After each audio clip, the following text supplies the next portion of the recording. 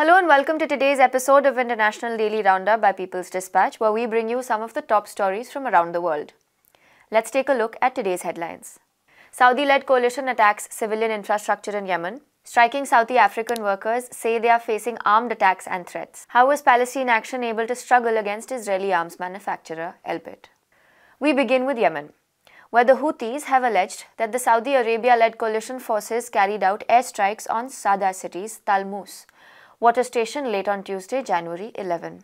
The strikes reportedly caused significant damage to the tanks that provide water to over 135,000 civilians in the city. Claiming that the water facility was purely a civilian project, the Houthi government demanded war crime proceedings against the Saudi led coalition. It also asked international organizations to fulfill their responsibility to Sada residents, the Yemeni news agency Saba reported. According to Saba, the Saudi led coalition altogether carried out six airstrikes in Sada province, causing damages to civilian infrastructure like telecommunication towers. The coalition forces also launched several airstrikes in Marib and Hodeidah provinces. According to Deputy Minister for Water and Environment in the Houthi administration, Hanan al Darib, the attack on civilian water tanks has endangered the supply of water to the residents of Sada who are already suffering due to a severe shortage of fuel. The Saudi led coalition has been waging a war in Yemen since 2015 to reinstate its former president Abdurrab Mansour Hadi. The coalition has imposed a strict land, air, and sea blockade of Yemen. This has deprived the majority of its population of basic necessities such as food and medicine. Due to the war and the blockade, at least 400,000 Yemenis have died and millions displaced and pushed towards death due to starvation and lack of essential medicines. According to the UN, in the last month alone, at least 350 Yemenis were killed and more than 15,000 people were displaced. Our next story is from South Africa, where striking workers of the dairy company Clover allege that they have been subjected to a number of attacks. The workers have been protesting since late November and are led by the General Industries Workers Unions of South Africa, GIWUSA, and the Food and Allied Workers Union, FAWU. According to union officials, the vehicles of at least two workers were attacked with petrol bombs, while others were threatened by groups of thugs or received menacing phone calls. The workers of Clover have been on strike against re-entrenchments and salary cuts instituted by the company as well as other measures that have increased their workload. Clover is owned by the Milco Consortium, which itself is owned by the Israeli um, Central Bottling Company. When Clover was taken over by Milco in 2019, assurances had been given that any re-entrenchments as part of a restructuring plan would be kept on hold until October 2022. The company also promised to create 500 new jobs. However, unions say that the company has gone back on its promises and has created conditions due to which over 800 jobs have been lost. The company is also considering the loss of over 1400 more jobs according to workers. The unions have been demanding that Clover be nationalized and handed over to workers' management. And finally, we had earlier reported that Israeli arms manufacturer Elbit has been forced to shut down its factory in Oldham in United Kingdom.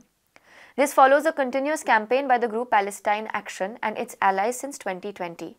We bring you this excerpt of an interview with Huda Ammori of Palestine Action on the campaign, how it was organized, and the way ahead. We are a direct action network. We launched um, over 18 months ago now in July 2020, and we've basically take action against Israel's arms sites here in Britain to disrupt them, blockade them, occupy their sites.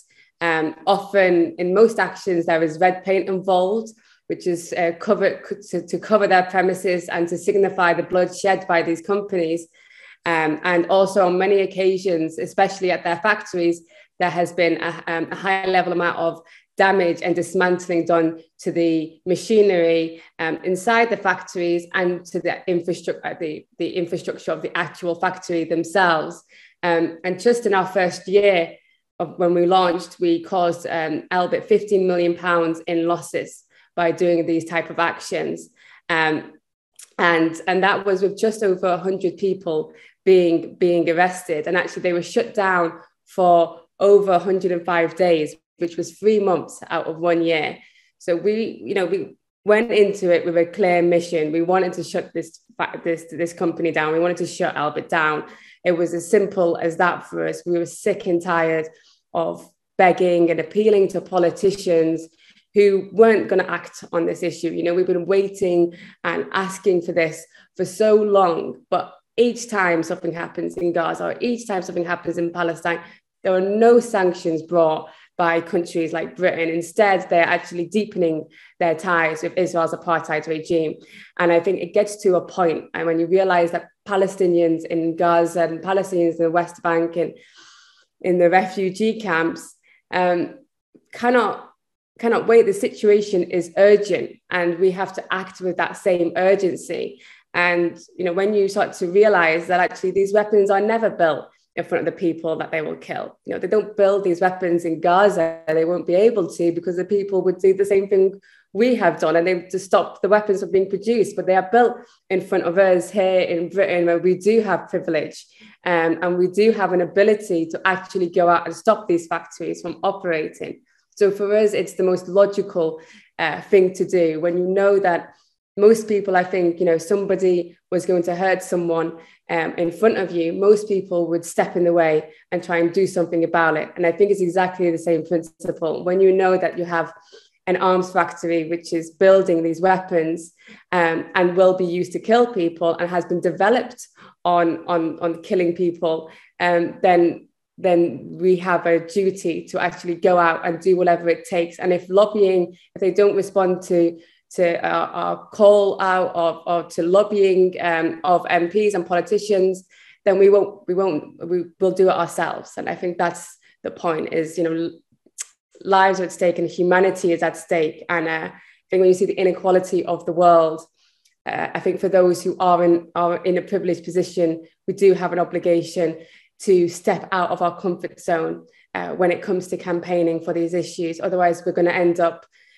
in the same situation over and over again. And, you know, I think like myself, many people are tired of, of seeing what we saw in May 2021 when we saw Gaza being bombed once again um, with weapons again that are probably built here in Britain. And, and even though there is global support amongst people for Palestine, it's not translated to government legislation. So for us, going out and shutting these factories down and saying we don't need the government legislation to stop Israel from being able to produce these weapons here um, in Britain.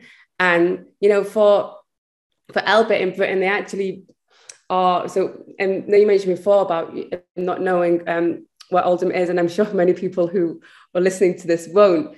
But uh, these factories are normally not in the kind of metropolitan areas, they're actually in working class communities. And for example, Oldham actually has a very large Asian uh, community, very large Kashmiri community, Arabs there as well, um, who are actually you know, weren't aware of this factory existing until the kind of action stepped up against this factory. And you know, it's it's so insulting to see that they put they put the manufacturer of, of, of, of these weapons, which would be used to kill, um, you know, their, their, their, communities back home right in front of them um, and think that they'll be able to get away with it. And obviously they, they, they didn't and they won't. And that's all for today's episode. For more such stories, visit our website, peoplesdispatch.org. Follow us on Facebook, Twitter, and Instagram. Thank you for watching.